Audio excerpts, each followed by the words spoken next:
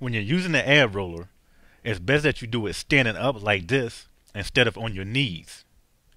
But before you try it standing up like this, you have to find the right spot for you.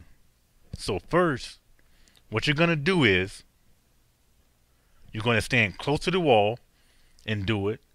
And if you don't feel it in your abs, or if it's too easy for you, you're going to keep backing up until you find that perfect spot where doing 8 to 20 reps is going to put your abs on fire.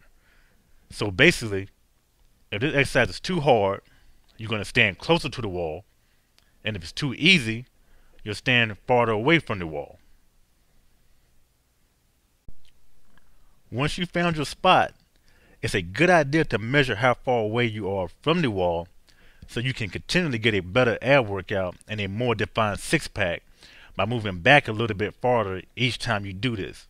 So after each workout, write down where you were and at least do the same thing the next workout or try to move back an inch or move back a little bit more each workout. Now when you're doing this exercise, you're basically falling over forward into the wall. So notice how my heels come up off the floor and also see how my head stays almost directly over the ab wheel until the very end of the movement. Now another reason why you may not feel this in your abs is because you may be reaching out more with your arms instead of just falling over and squeezing your abs to prevent you from crashing too hard into the wall.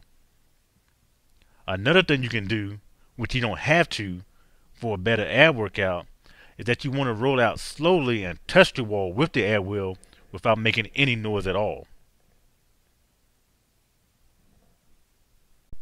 If you don't have an ab wheel, you can do this exercise using an office chair.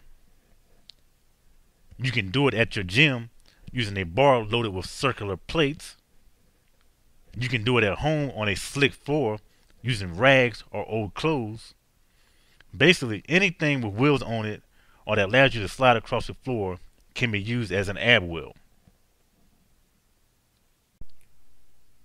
Let me give you some safety tips to prevent you from getting hurt while using an ab roller.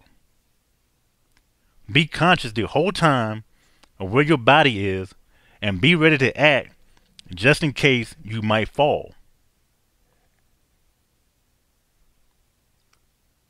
Make sure that your head is directly over the ab wheel almost the entire time all the way up to the very end to prevent you from tripping up. If possible, make sure you have someone spot you who can catch you if you're not comfortable doing this exercise alone.